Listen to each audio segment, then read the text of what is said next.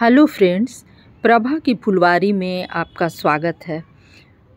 दोस्तों, आज हम जिस पौधे की बात करने जा रहे हैं और जो पौधा सामने दिख रहा है, उसका नाम है अजेलिया। यह एक परमानेंट या पेरेनियल प्लांट है। एक बार आप अपने गार्डन में ले आइए तो सालों साल ये बना रहेगा। इसके फूल फरवरी से लेकर और मई तक आते हैं। और मई के बाद जब ज़्यादा गर्मी पड़ने लगती है, तब इसमें फूल आना बंद हो जाते हैं। ये हिली एरिया का पौधा है। पहाड़ों पर ये बहुतायत में मिलता है और वहाँ बिना किसी केयर के ये पौधा बहुत अच्छा चलता है।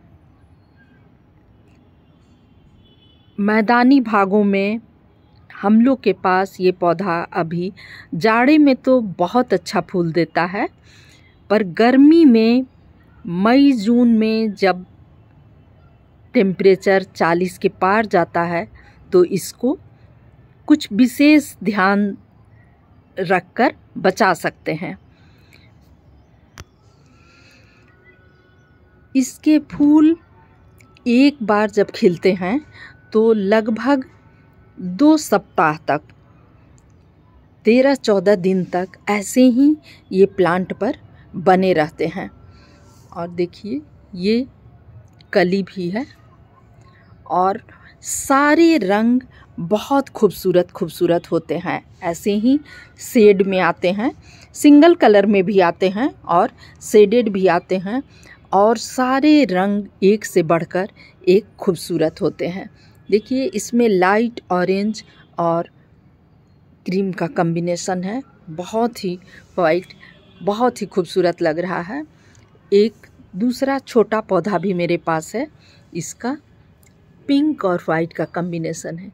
देखिए, ये भी बहुत ही सुंदर रंग है। तो इसके सारे रंग जितने भी आते हैं, इसी तरह से बहुत ही खूबसूरत खूबसूरत रंग आते हैं। और पत्तियाँ इसकी बिल्कुल छोटी छोटी होती हैं। छोटी और इस तरह से ज़्यादा पत्तियाँ नहीं होती हैं। और इसका स्टेम पतला है पर उडी होता है, सॉफ्ट नहीं होता है। इस तरह से हार्ड होता है। इसके फूल जब भी आते हैं तो ऐसे पुराने ब्रांच पर आते हैं। देखिए, जो भी इसके फूल आए हुए हैं, वो ऐसे पुराने ब्रांच, पुरानी पत्तियों पर आए हुए हैं। इस तरह से और जो भी इसके नए ब्रांच आ रहे हैं, जैसे ये ब्रांच अभी पत्तियाँ बिल्कुल नई हैं तो इस पर अभी फूल नहीं आएँगे। जब ये ब्रांच थोड़ा पुराना होगा, थोड़ा तना इसका ठीक होगा तभी उस पर फूल आएँगे। और लगभग सबके टिप पर आते हैं फूल इस तरह से। देखिए, सबके टिप पर आते हैं। इसके केयर की बात करें दोस्तों तो सबसे पहले पॉट की बात करते हैं। इसका पॉट ये आठ इंच का मैंने लिया है और देखिए मिट्टी का पॉट है। मिट्टी का पॉट सबसे अच्छा होता है। अगर आपके पास मिट्टी का पॉट नहीं है, तभी आप प्लास्टिक का पॉट या सिरामिक पॉट में लगाएँ। लेकिन अगर आपके पास अवेलेबल है तो सबसे पहला जो पसंद है, वो मिट्टी का पॉट ही रहता है। इसकी जड़ें बहुत गहरी नहीं जाती हैं तो ये सात इंच आठ इंच का पॉट इसके लिए बहुत अच्छा रहता है। और मिट्टी की बात करें दोस्तों तो मैंने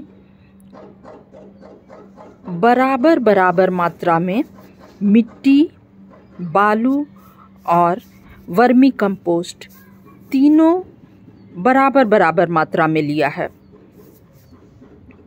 और उसमें थोड़ा सा ये धान की भूसी मैंने मिला दी है। और दो मुट्ठी नीम की खल्ली मैंने मिला दी है।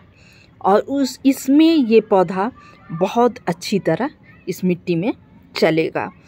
दोस्तों, ये एजेलिया के प्लांट की मिट्टी में बहुत सौगी नहीं होना चाहिए, बहुत ज़्यादा पानी आप नहीं डालें। हाँ इसमें मॉइस्चर बना रहना चाहिए। बहुत ज़्यादा ड्राई नहीं हो मिट्टी, पर बहुत ज़्यादा पानी, अगर आपकी मिट्टी गीली है तो आप दूसरे दिन पानी नहीं दें। हल्का सा मॉइस्चर बस बना रहना चाहिए। और धूप की बात करें दोस्तों तो इसको पूरे दिन का धूप नहीं चाहिए इस पौधे को। अभी तो पूरे दिन का धूप बर्दाश्त कर भी ले, पर कुछ दिनों के बाद, लगभग पंद्रह दिनों के बाद, आप इसको ऐसे जगह पे रखें जहाँ लगभग तीन घंटे की धूप इस पौधे को मिल जाए और बाकी समय सेड मिले। तभी इसके फूल लंबे समय तक इसके पौधे पर टिके रहते हैं। नहीं तो अगर आपने धूप बढ़ने पर भी, कड़ी होने पर भी धूप में पूरे दिन रखा तो इसके फूल बहुत जल्दी मुरझाने लगते हैं। तो इस पर इस तरह से लगातार फूल पाने के लिए आप तीन से चार घंटे की इसे धूप दें और बाकी समय इसको सेड में रखें। तो दोस्तों, इस तरह से हम लोग इस खूबसूरत पौधे को सालों भर अपने पास बचा कर रख सकते हैं और अभी से लेकर मई तक इसी तरह खूबसूरत फूल पा सकते हैं। तो ये थी इसके केयर की बातें और मिलते हैं दोस्तों एक नए प्लांट के साथ। और अगर मेरा वीडियो आपको पसंद आया तो इसे लाइक ज़रूर करें, कमेंट करें और मेरे चैनल पर नए हैं तो सब्सक्राइब करें दोस्तों। Bye friends